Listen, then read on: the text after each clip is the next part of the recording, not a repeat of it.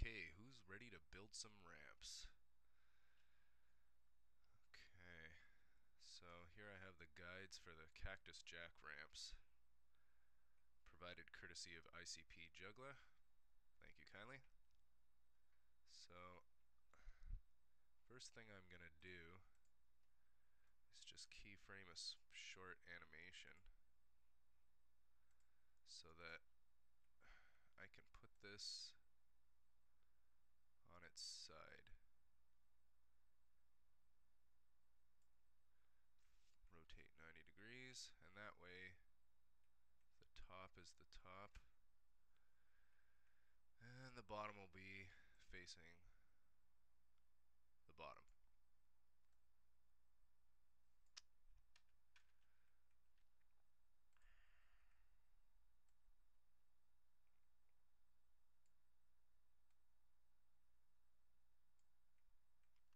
Okay, so I always recommend using a reference image to try and get those details. So let's see, where am I going to start here? I guess we'll do this one.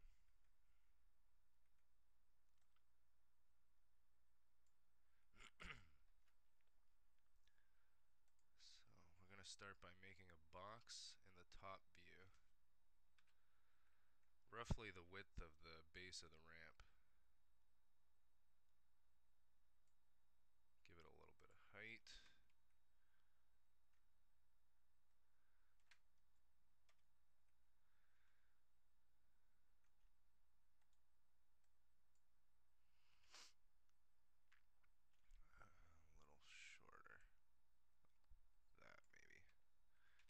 top view.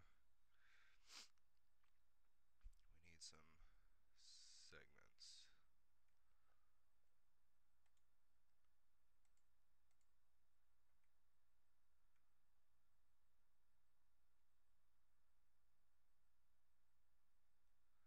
Oh, I guess I need to dock my controls so you guys can see them. Oh, that sucks.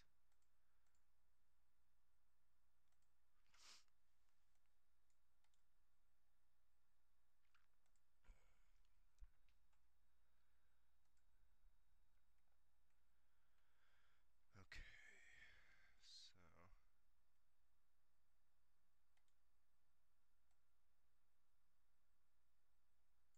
oh, that's why I can't see it.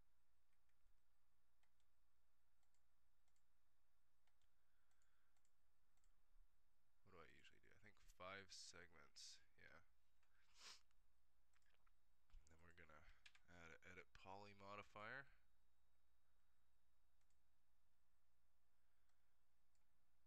And we use the scale tool.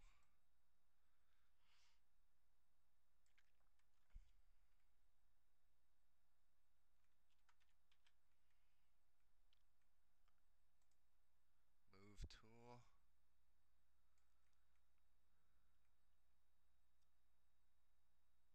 Oh, it's upside down. What's going on here?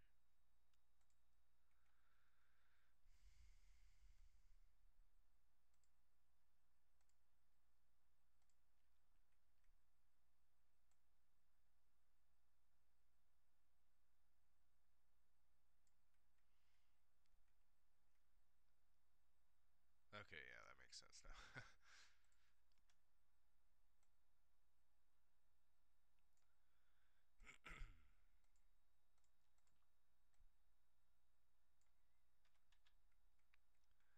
so what we want to do here is match the height of our guide, roughly.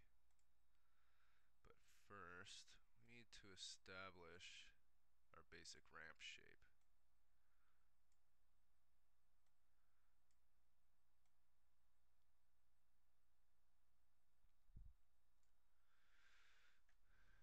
Now looking at my reference image,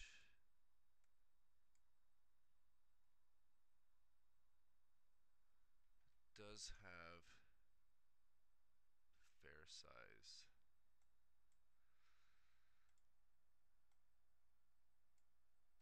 ellipse on the wall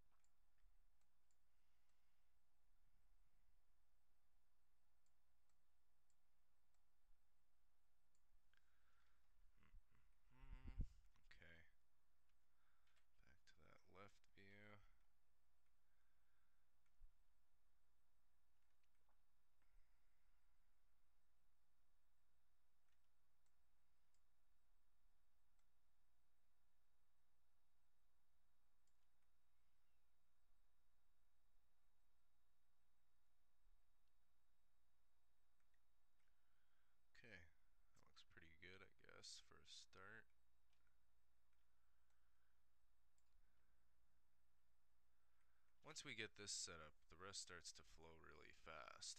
So it's kind of important to take a little bit of time here to get this right.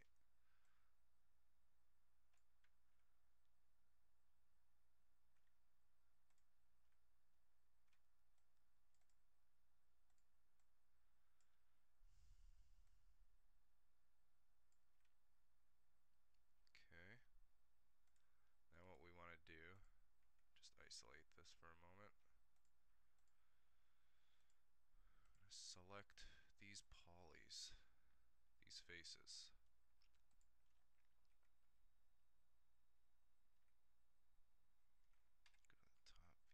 Go to the top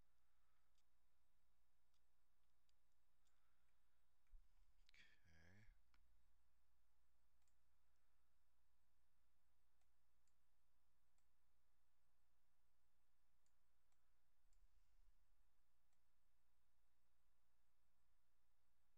Okay.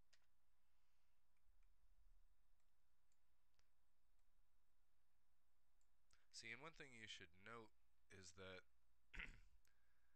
you can use the ramp guide in wireframe mode or use edge faces so that you can see the direction in which the faces or edge loops go and do your best to try and follow those same angles as you go along.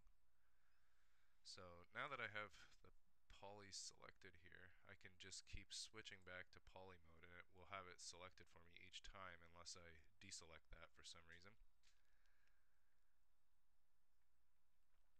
So now what we can start to do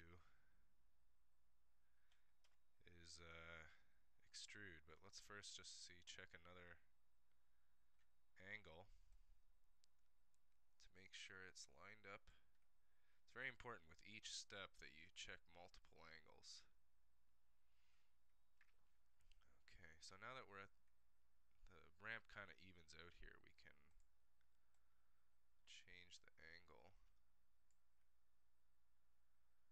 these faces. Alright, that looks alright.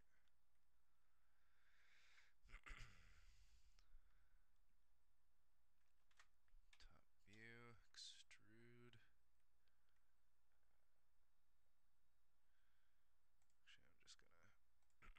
Actually, I'm just gonna take this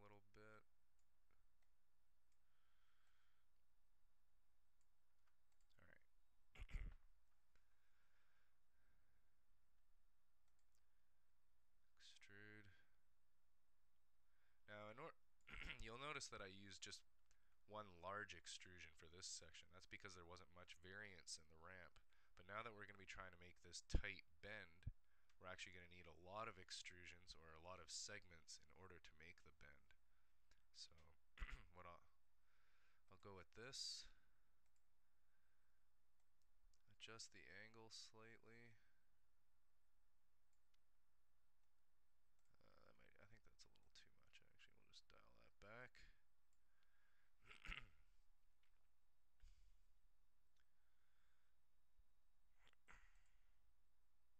yeah, I'm just getting over a cold. Sorry about my voice. okay,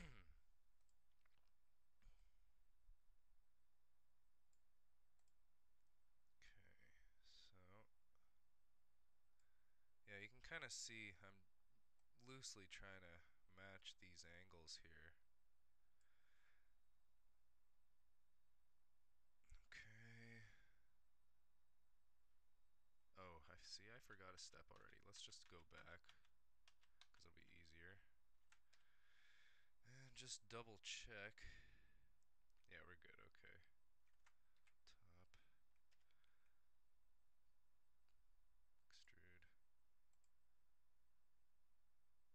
Top. Extrude.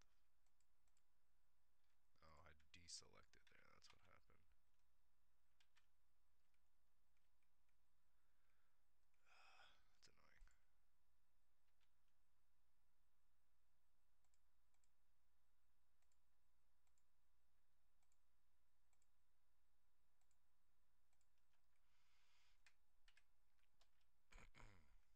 okay, back on track.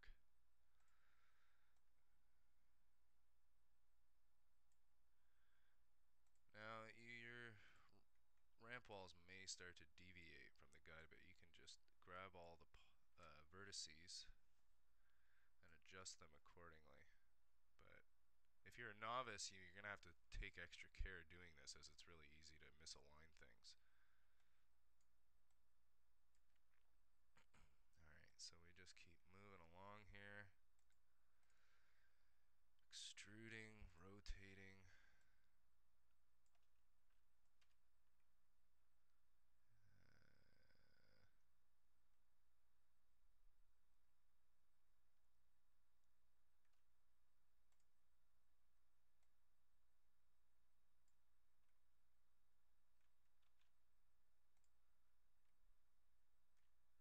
just going to rotate this a little bit on the local axis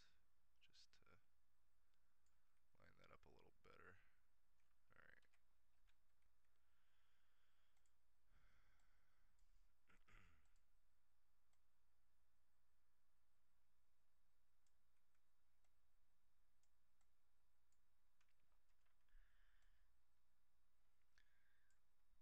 See, as the bend gets tighter, we're going to need more and more segments in order to make it a smooth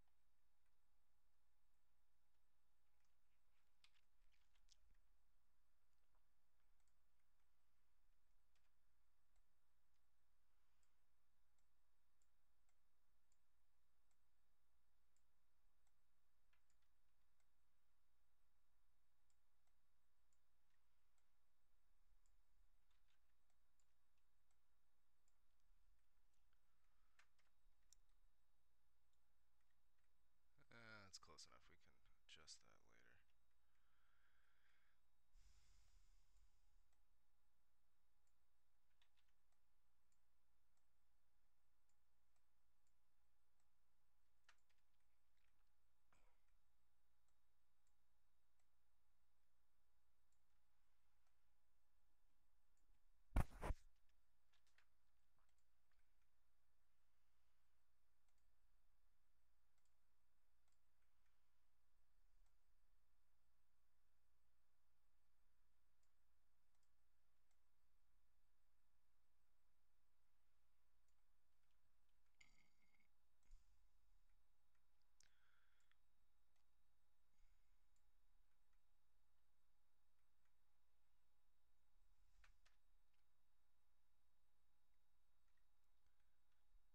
These tight bends is usually one of the harder parts of making these ramps.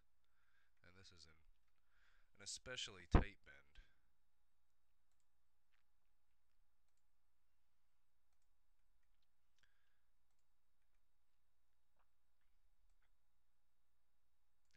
Now I know that there are other methods of building ramps which are a lot faster and easier, but this is the the method that I've come to use for trying to capture, you know, those custom details that you just can't seem to get with those easier methods like extruding along a path or extrusion shapes. Takes a little longer, but this gives me more control.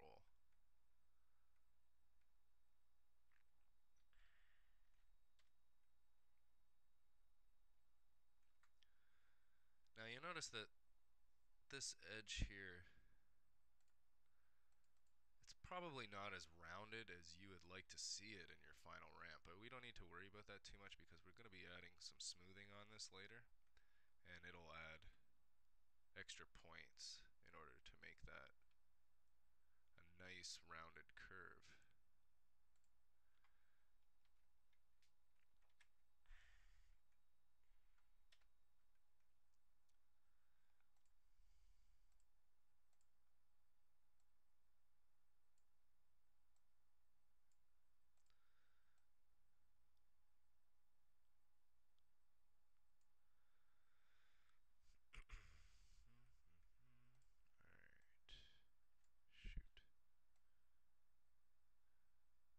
when you're rotating, you gotta be careful to be rotating on the right axis. Or what could start happening is stuff like this. And once that happens, the rest of your extrusions are gonna be all wonky. So you gotta pay attention with each step.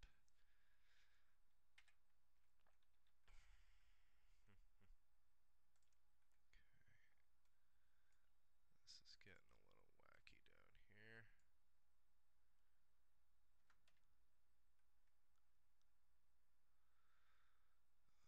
Okay.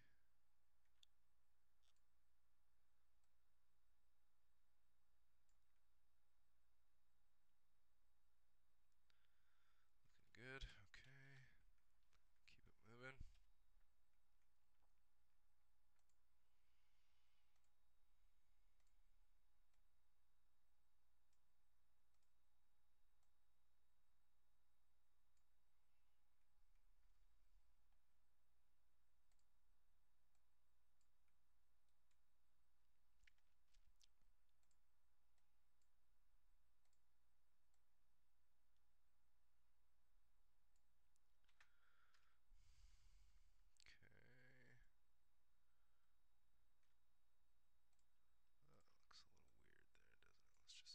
Adjustment.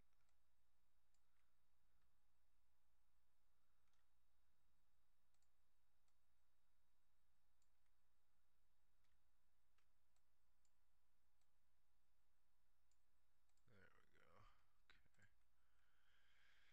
Okay. Alright. We're on the home stretch now. The bend is almost over.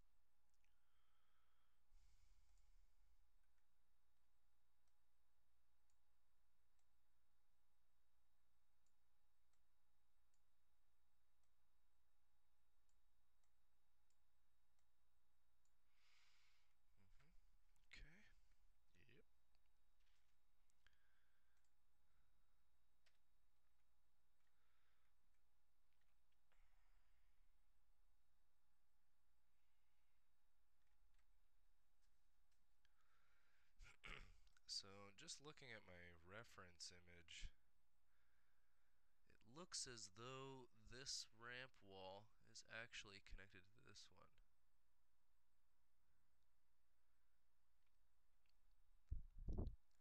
What I usually do is I bridge the polys afterwards, so we can worry about that a little bit later. Let's just finish this up. Polygon extrude.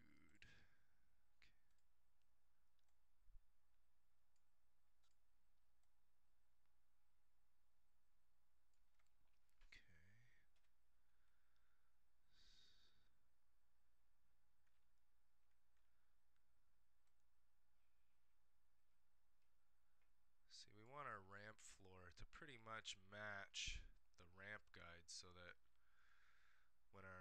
travels around in VP, it won't appear to go beneath, beneath the ramp floor.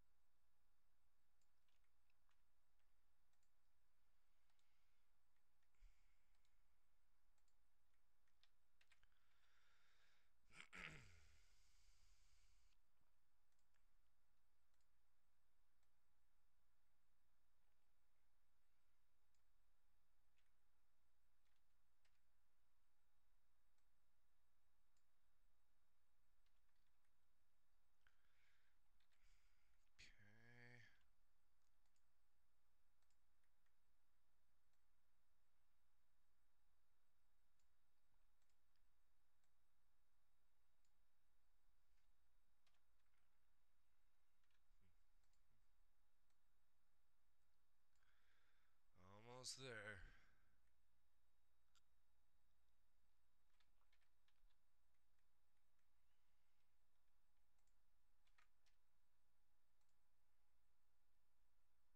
Yeah, that looks good.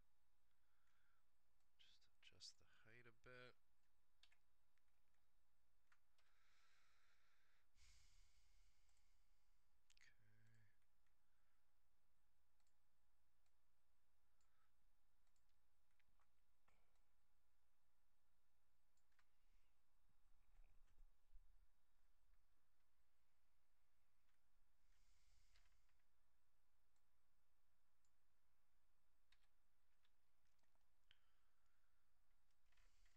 And the final extrusion.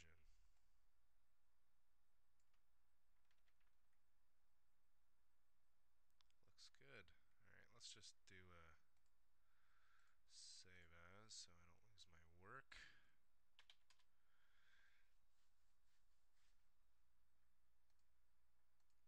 That never hurts to save an extra copy. Okay. So let's have a look at our ramp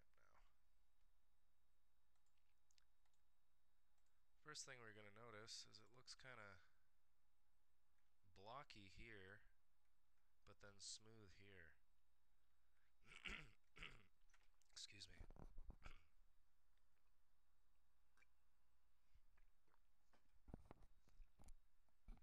okay. So the reason for that is that our first segment had a poly uh, smooth group applied, but for each extrusion, there was no smoothing added. So to fix this, we just pretty much gotta select the whole thing in poly mode and go over to our polygon smoothing groups and hit clear all. Okay, so now everything is blocky.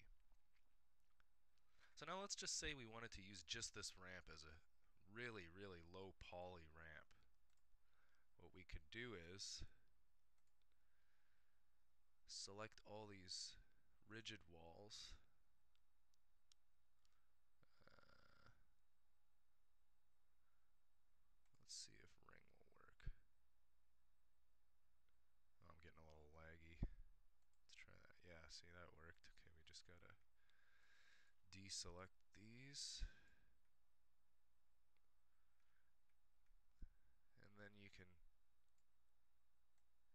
add a smoothing group. Click that, and now you'll see that that's all smooth. We can do the same with the ramp floor. Now the reason I don't just apply it to the entire thing is that can cause some mesh distortion as it I'm not sure exactly why. I guess it's because the, smoothing groups overlap or something like that. But I find it works better if you do it in segments like this, like the ramp floor, the walls, and so forth.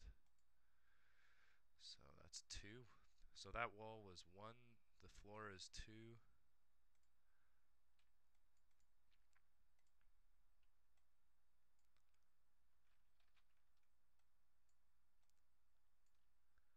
And this wall will be three, right? Okay. So I mean, I can continue to do that for each of these walls. I can see I have some stuff to fix up here too, but I'm not going to worry about that just yet. Let's just clear all again.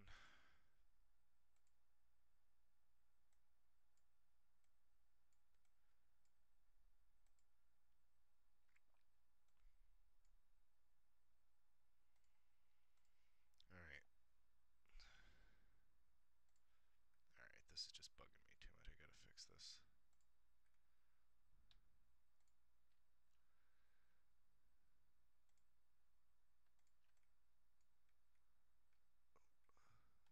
Oh, what the heck?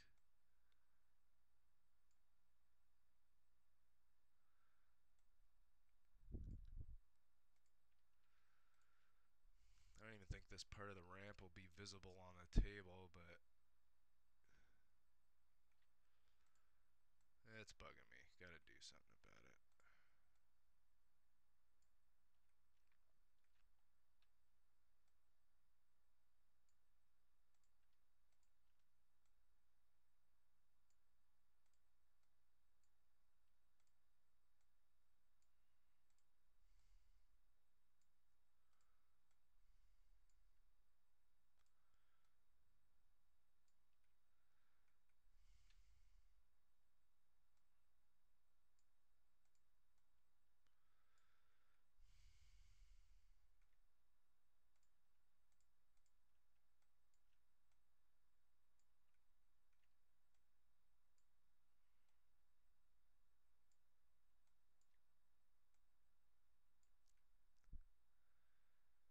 Alright, I think that's looking about good. Let's just adjust these a little more.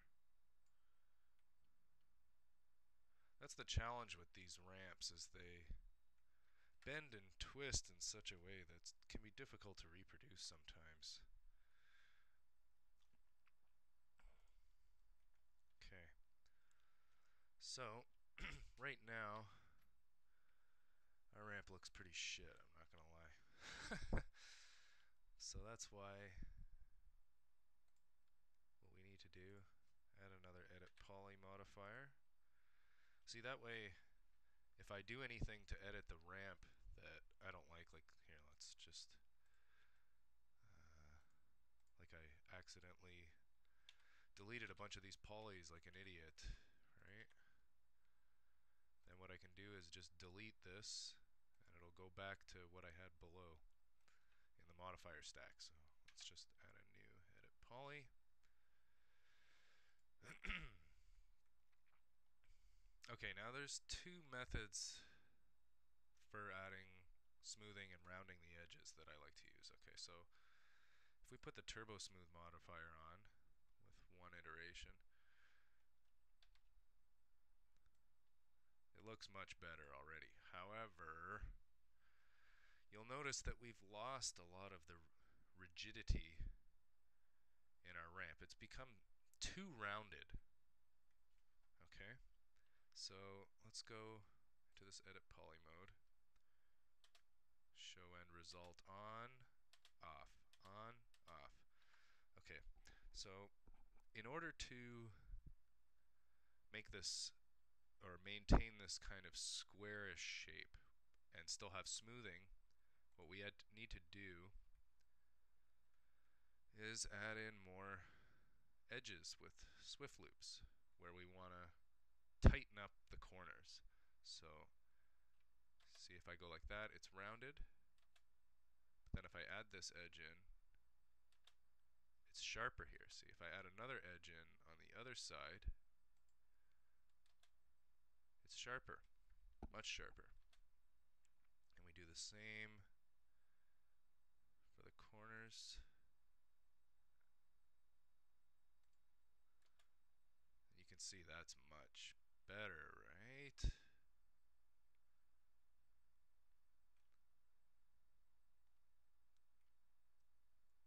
Much better.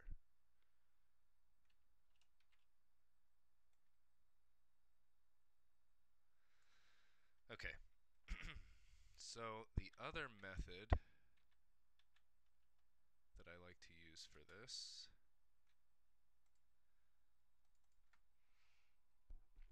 is we select this edge loop and we're going to chamfer it.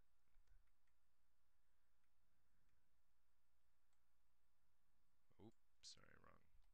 So make it a little bit bigger. Hmm. Hold on.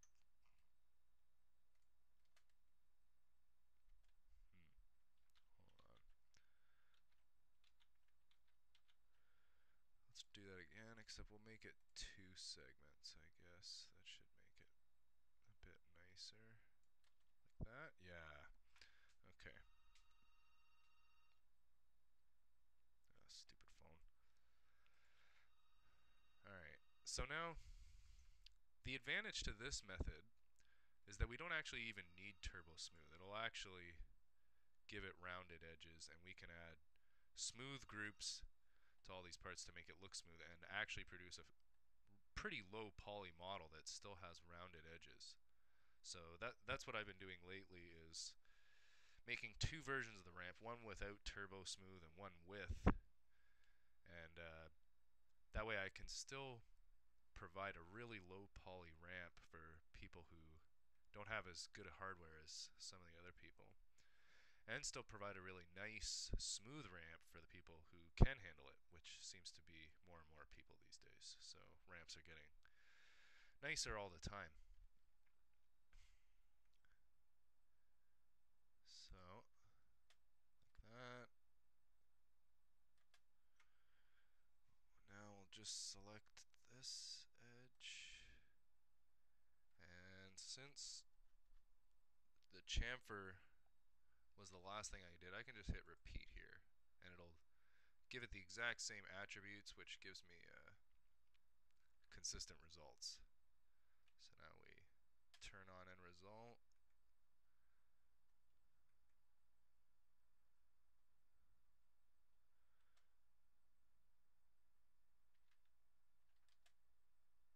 Yeah, there we go.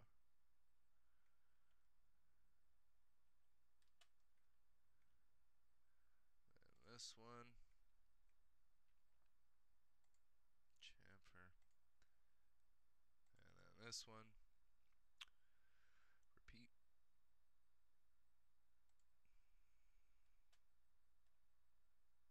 Well, okay, uh, that screws it up.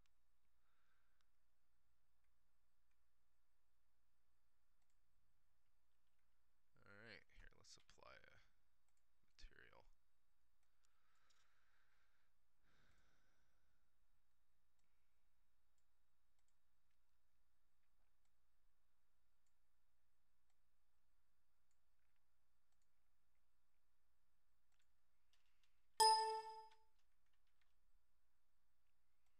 See that? That looks pretty good already. I mean, I can do some adjustments for it, but you get the idea.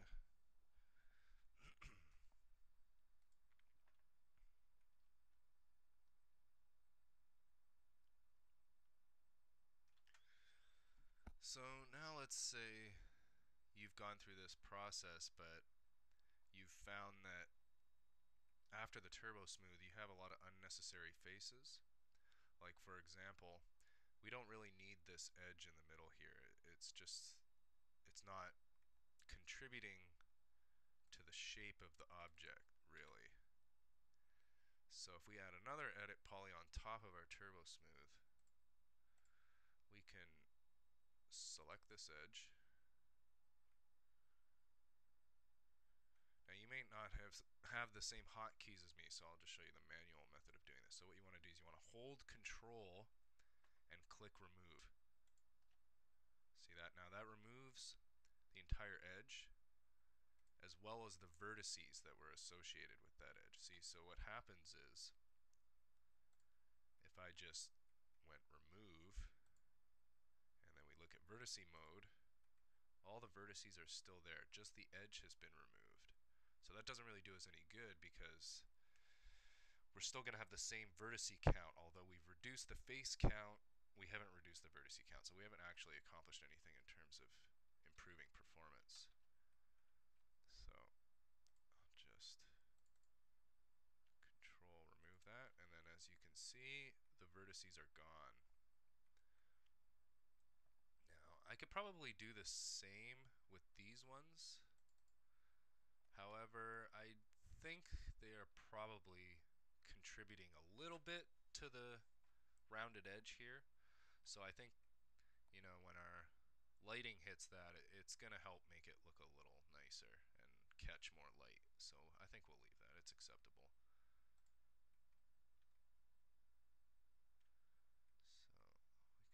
let's just hit save as.